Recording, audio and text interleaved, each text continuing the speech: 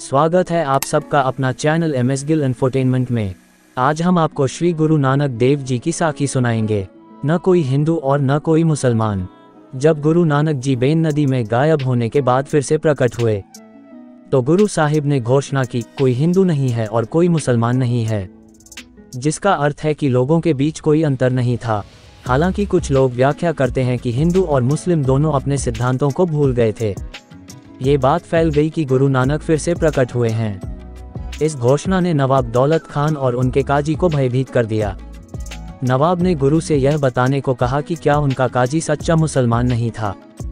गुरु जी ने एक सच्चे मुसलमान के लक्षण बताए। वह जो अपने विश्वास में दृढ़ है, उसे मुसलमान कहलाने का अधिकार है। उसके कार्य पैगंबर में उसकी आस्था के अनुरूप होने चाहिए। उसे अपने हृदय से अभिमान और लालच को साफ़ करना होगा। जो धोखेबाजों से परेशान नहीं। जीवन और मृत्यु, भगवान की इच्छा से समर्पित कर दिया हो, उसे कर्ता के रूप में जानता हो। स्वयं को स्वयं से मुक्त करें और सभी प्राणियों के प्रति दयालु रहो। हे नानक, ऐसा व्यक्ति स्वयं को मुसलमान कह सकता है। तब नवाब ने गुरु जी से पूछा, यदि हिंदुओं और मुसलमानों के बीच कोई अंतर नहीं है तो आप हमारी नमाज़ मुस्लिम प्रार्थना में शामिल क्यों नहीं होते? गुरु जी उनके साथ मस्जिद में उनकी प्रार्थना में भाग लेने के लिए सहमत हुए, जहाँ काजी ने नमाज़ का नेतृत्व किया। जब नमाज़ अदा की गई तो काजी और नवाब दोनों खड़े हुए। घुटने टेके और प्रार्थना में झुके, लेकिन गुरु जी खड़े रहे। नमाज़ खत्म होने के बाद काजी ने कहा, तुमने नमाज़ में हिस्सा क्यों नहीं लिया? गुरु जी ने उत्तर दिया, मैंने प्रार्थना में भाग लिया, लेकिन तुम दोनों ने नहीं।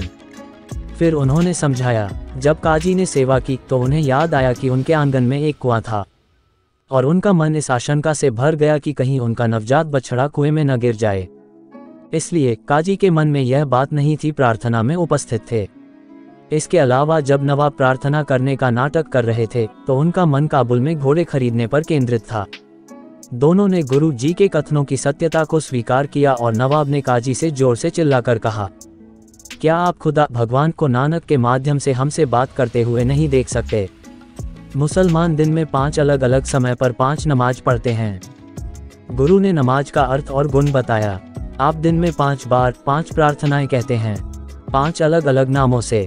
परंतु यदि सत्य तुम्हारी पहली प्रार्थना हो, ईमानदारी से अपनी दैनिक जीविका कमाने वाला दूसरा, भगवान के नाम पर देने वाला तीसरा, आपकी चौथी प्रार्थना से मन की पवित्रता, और पाँचवें तेरे परमेश्वर की स्तुति और प्रार्थना।